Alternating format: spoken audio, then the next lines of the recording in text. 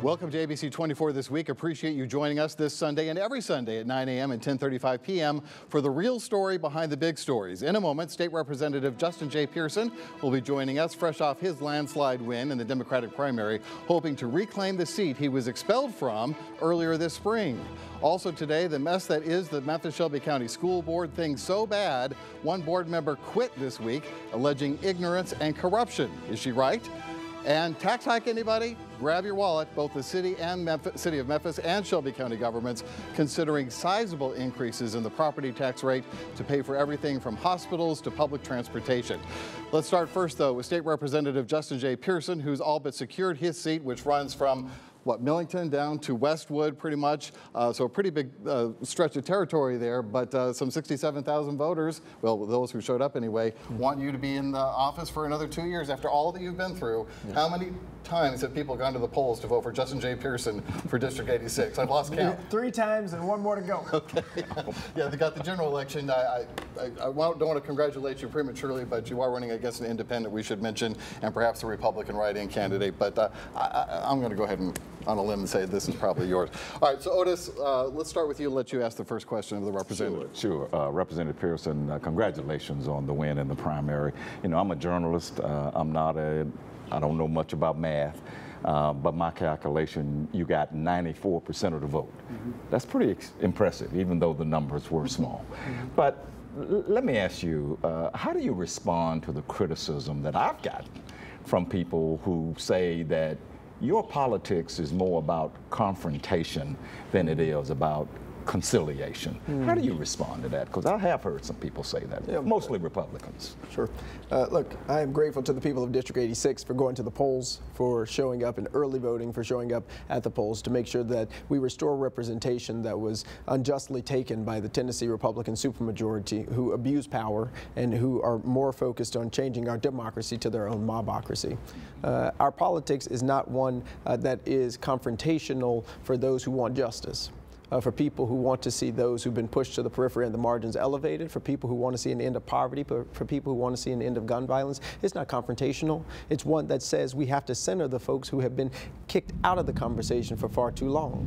What is, uh, uh, what we are seeing as confrontation or being seen as confrontational is running up against a status quo that doesn't want to change.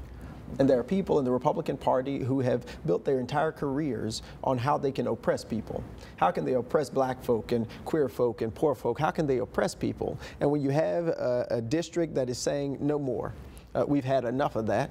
We've had enough of being told that we're the paths of least resistance. We've had enough of being told our air quality doesn't matter. We've had enough of being told that our children don't matter. We've had enough of that. They say, well, you're just being too confrontational.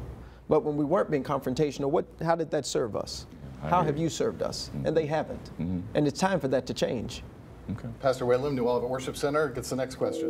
Well, as, um, as an elder myself in the political community in this, in this city, I just want to say I'm proud of you, man. Um, I am proud of you. That's something that the old heads, when I came on the scene, didn't do to me. They kind of stood off from me and said, well, no, he's, he's too brash, he's too whatever.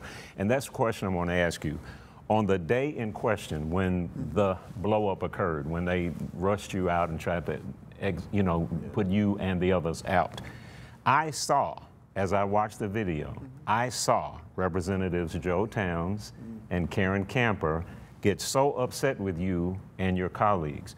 In fact, I saw Joe Towns literally put, put his hand on you, and Karen was pushing you out of the door. I'm assuming that they have apologized for that, but I want to ask you, I think it's symbolic of what you brought up earlier, status quo versus the new. How do you respond to people, not just GOP, but established black Democrats who think your ways are too unconventional? Mm -hmm. I mean, uh, I love my black people. Uh, it is because of black women and black leaders in particular that I am here. Uh, if it had not been for my grandmothers and folks in the civil rights struggle like Fannie Lou Hamer, we wouldn't be where we are. And so I give immense credence to folks like Karen Camper who've made it to leader and things like that. But we have to be honest about where we are and that we didn't get here because there were uh, mistakes being made. We got here because people have designed a predicament and a situation that is very dangerous for us. And too many people ha have gotten more proximate to those who are in power rather than lifting up the voices of their communities and their constituencies. I honestly think if more people watch what their representatives were or were not doing at the state legislature, they wouldn't be sending them back. Uh, honestly, uh, I think uh, you'd be surprised how many people are quiet don't speak on the House floor. Pass legislation that incarcerates more black people because that's the only types of bills that the Republican Party allow for us to pass, mm -hmm, mm -hmm, right? Mm -hmm. uh, but I'd rather not pass anything and keep to the principles of what we say we believe, which is in justice, which is in fairness, which is in the elevating of all people. Because when we elevate those who have been most marginalized, everybody benefits. I'd rather stay true to those principles that, that the folks in Boxtown and Westwood and, and, and Woodstock sent us to represent and to say than to uh, try and get proximity to folks who I know in their hearts and in the statements that they put out do not wish us well.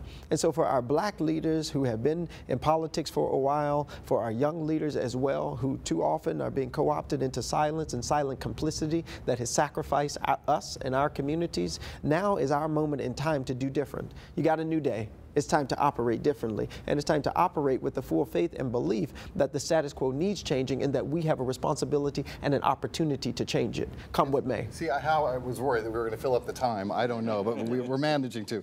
Look, I've been covering politics for a long time. Uh, Otis has as well.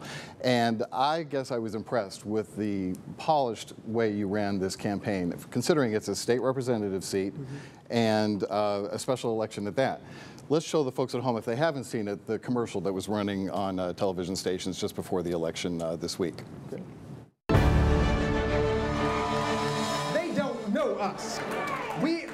Conscious people who will always speak up. We are always going to demand that the people who've been pushed to the periphery be brought to the center of the conversation. They see on the horizon thousands of people who are standing up. You can't silence a movement. You can't expel hope. Paid for by the committee to elect Justin J. Pearson, Scott Crosby, Treasurer. Again, I've been covering politics a long time. I've never seen an ad like that for a state rep race for a special election. Some might see that ad. In fact, some have seen that ad. and said, this guy's got higher goals, higher ambitions. Now, we've asked you, do you have plans to run for Congress? And you said, no, I don't. I'm fully committed to this seat. District 86 state representative. Okay, let me throw up some numbers for you, okay? Go ahead. District 86 has a population of 67,000 people. Mm -hmm. Roughly, how many voted for you uh, in the special election? About 2,209. About 2,000 people, okay. The Congress, Congressional District number 9 has a population of 767,000 people, mm -hmm. uh, almost 768. Our Memphis viewing area has about 1.3 million people. So in order to buy those ads, you had to pay the rate to, to reach an awful lot of people, a lot more than you needed for District 86. Mm -hmm. Can you tell me for unequivocally, mm -hmm. you have no designs, no interest at all in running for the District 9 seat? Because a lot of people think, what I'm hearing is that carpe diem, seize the day, now's the time, you'd be a fool to wait. Yeah, uh, uh, it's interesting. People say, I'd be, I'd be a fool to wait to run for District 9, and they said you were a fool to run uh, having never been in office before when we first ran for state representative. Look, we want to serve District 86. Uh, it's the community where I was born, where I was raised. Uh, it's the people who have supported me. And our job and our goal is to do everything that we can to improve our district, which has some of the most pollution, some of the highest levels of crime, some of the highest levels of disinvestment that we have seen in our city and in our county. And now is the time for us to seize the day of working in the state legislature, which is eroding our democracy, which is hurting our communities, to do something about that. But with all due respect, that wasn't my question. Can you say unequivocally that you will have no designs or interest in the District 9 seat? I have no desires or interest in the District 9 seat. I have all interest in the District 86 seat, though. You will not be a candidate for 2024? I will not be a candidate for 2024. Okay, all right. Otis, you get one more question. Uh, yeah, one more question here. Uh, I think you mentioned off air that uh, you might go to Nashville and help the other Justin. That's right. Uh, because he does have a named Republican candidate That's in right. that general election. Um, a lot of people have asked, Justin Pearson has such a great voice right now. Um, are you planning to get involved in the city mayor's race in terms of um, supporting someone, mm -hmm. speaking out for someone? Because let's be honest, if you did, it would give that person a big boost. All right, at this point, we haven't decided to endorse anybody for city mayor. Obviously, this is an extremely important position and role. Uh, what I do know is that whoever is running for city mayor, if they're not talking about poverty, uh, I won't be casting my vote for them. If they're coming out of obscurity, I won't be casting my vote for them. We need folks who've been proximate to poor folks. We need folks who've been proximate to the issues that our city has and that matters to be in the office of mayor. Okay, okay, okay. So, so it'll be a matter of people that you won't support as opposed to people that you might support if they're not talking about your issues. Not talk- exactly, and that's what I encourage everybody to do. What are the issues that matter to you, Right. and where have the people that you're looking at been? Okay. Uh, and if they haven't been around fighting pipelines, if they haven't been around uh, fighting for our democracy, then they're probably not the people that need to be serving us right now. I got you. All right, I got to end it there. Unfortunately, we have many more questions. I, I have no doubt, but maybe we can have you back. Bring me back. before too long. Okay? That sounds like a All plan to me. Sounds good. We'll take a break. We'll be right back to talk about the mess that is the Memphis Shelby County School Board, and Chris Tudor, former chairman of the Shelby County Republican Party, will be joining us right after this.